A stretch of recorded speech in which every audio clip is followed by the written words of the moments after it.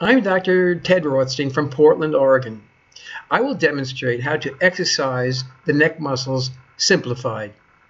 Central to good posture is to keep your head centered on your first cervical vertebrae, which is called the atlas, named after the mythical Titan god who supports the planet. Your head weighs about 13 pounds. Therefore, if it is not centered over your vertebrae, that is lopsided or misaligned, it will eventually have severe deleterious effects on other systems of your body.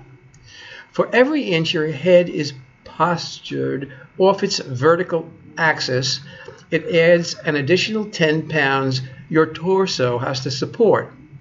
That additional malpositioned weight is without doubt very harmful.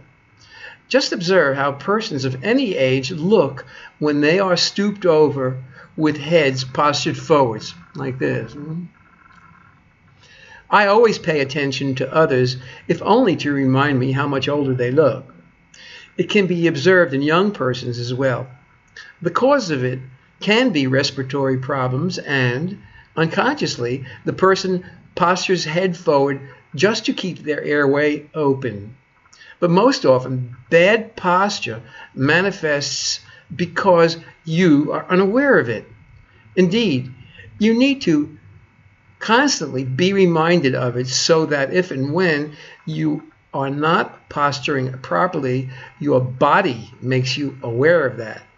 This sense of self posture is called proprioception. Exercise helps you gain and keep that sense of your position in space. When I am not standing centered erect with shoulders slightly back, my sense of erectness alarm goes off and I correct my posture.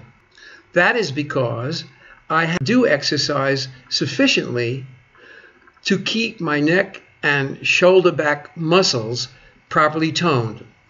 You can think of your neck muscles as struts or, or guide wires, the ones that keep your head falling forward or back, and the muscles that keep your head from falling to the right or to the left.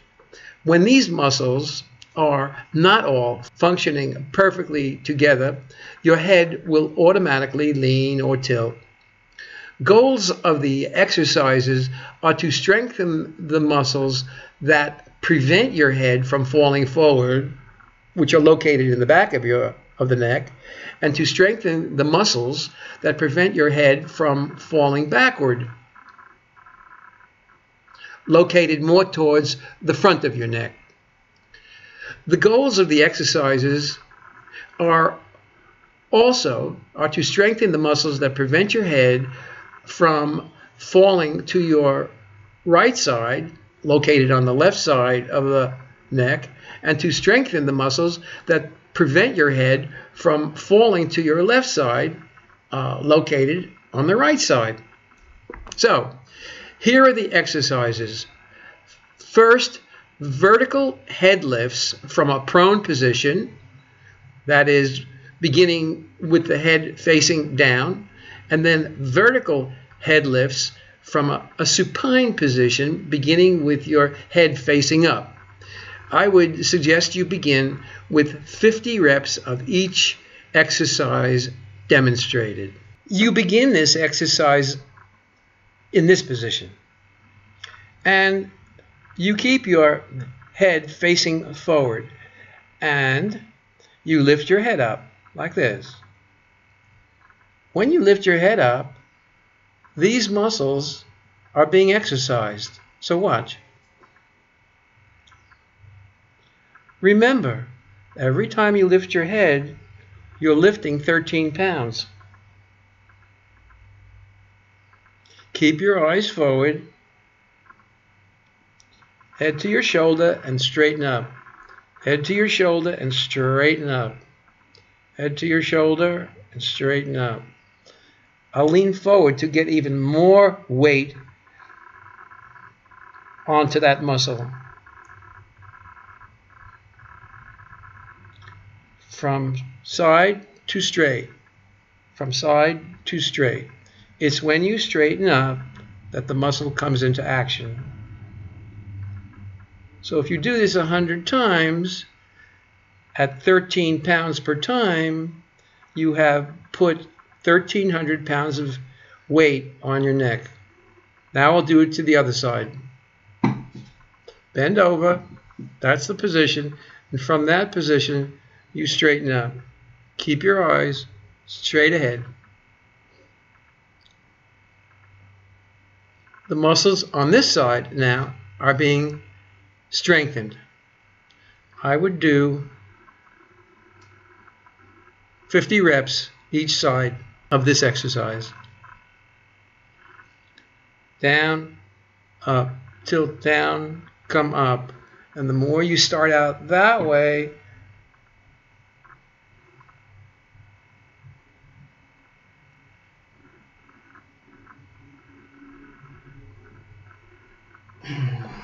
in this next exercise, this is these are called um, vertical head lifts from a prone position.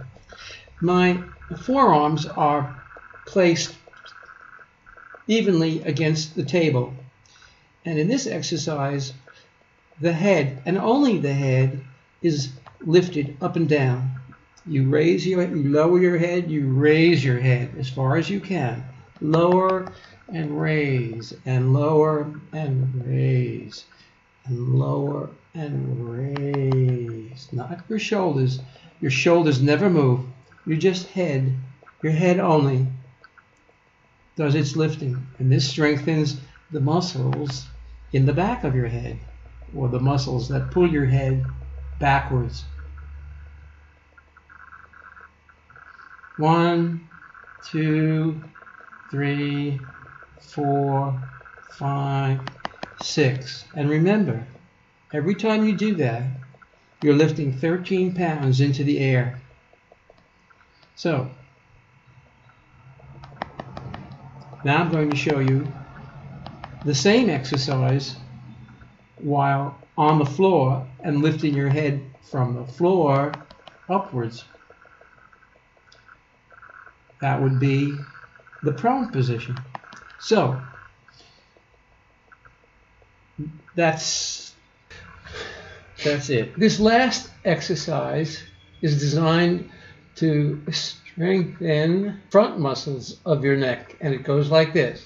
You keep your shoulders pinned to the floor and you simply elevate your head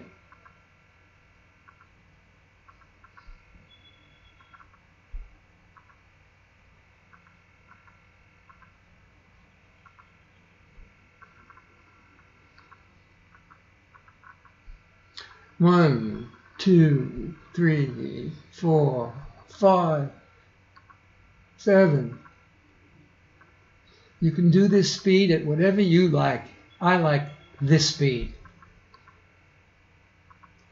I usually find I could do almost a couple of hundred with effort. I can do a hundred fairly easy.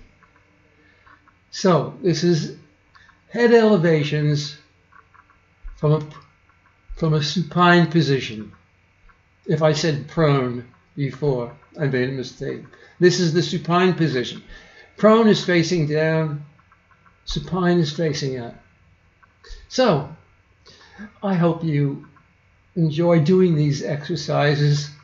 I assure you that your sense of proprioception will be vastly increased and you will then realize when you are not in the proper posture, especially with your neck. Thank you.